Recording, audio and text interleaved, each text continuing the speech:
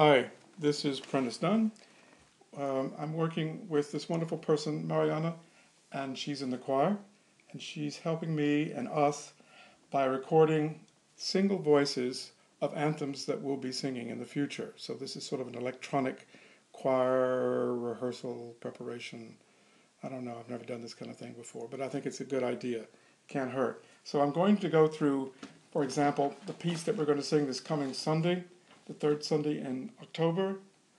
And the piece is called I'm So Glad That Jesus Lifted Me. It is Afro American spiritual, uh, arranged by Mark Sedio.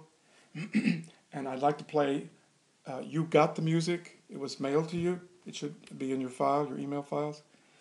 I'm playing now the first page. If you can get your first page out and follow along, especially if you're a soprano, either a solo or the sopranos will, sopranos will sing the following. I'm starting at the very beginning.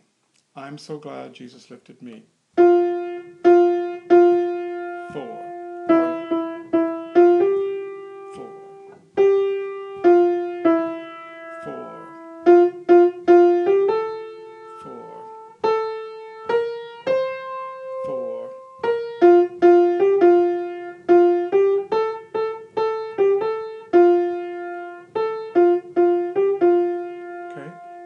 Going to go through it with the words.